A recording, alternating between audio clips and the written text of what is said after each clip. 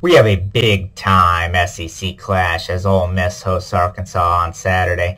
We're going to get into that game in just a minute, but first let me tell you a little bit about what's been going on over at Wager Talk. I have been red hot in all sports, entering Tuesday on a 13-1 all sports run, 8-0 in the NFL. I'm the number one ranked college football handicapper year to date at Wager Talk. And we've put together a fantastic promo for you. You can get a full week of plays, seven days, for just 79 bucks. Just use the promo code Jimmy7 at checkout. Make sure you take advantage of that because it is a fantastic offer. So Ole Miss hosts Arkansas fresh off a big 55-49 win over LSU.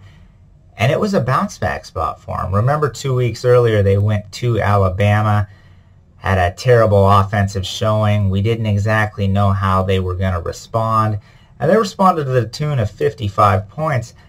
And when you think about it, why shouldn't this team be excited? They're now 4 and 1. They have the college football playoff in front of them. They have national championship aspirations.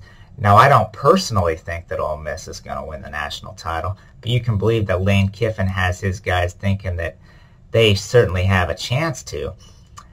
And so now they now Arkansas comes to town, and they bring with them what we think is a good offense, although that certainly wasn't on display last week against Texas A&M.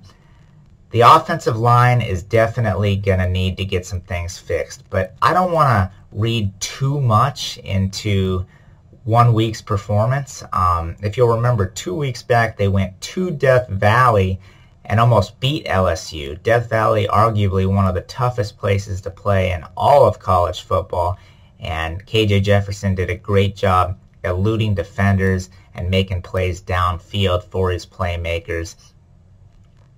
And if there wasn't a good spot for Arkansas to bounce back, it's probably against a Mississippi State, a Mississippi team that ranks 115th in the nation in opponent yards per game at 452, and that's only against FBS schools.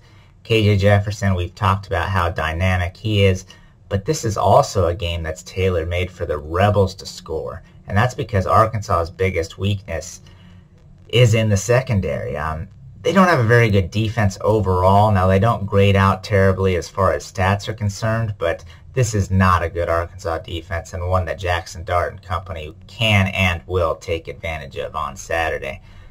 This has all the makings of a shootout. I'm not sure that I want to lay the points with Ole Miss because I think Arkansas may bounce back to some extent, but the over is certainly in play here, and that's how I'm going to recommend this one up and over the total. Uh, make sure you take advantage of that promo code Jimmy7, and if you're interested in more NFL and college football videos, just click any of the links that are available, and let's cash some tickets, guys.